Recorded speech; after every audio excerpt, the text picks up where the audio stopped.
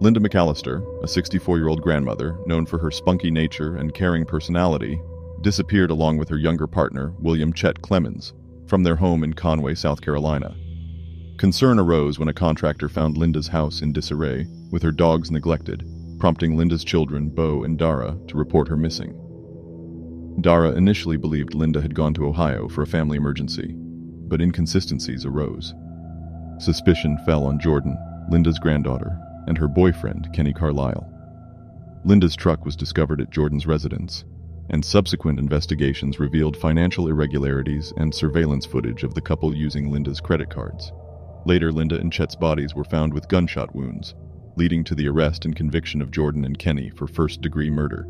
The prosecution argued that Kenny manipulated Jordan to commit the crime for financial gain, and the jury found them both guilty, sentencing them to life imprisonment without parole.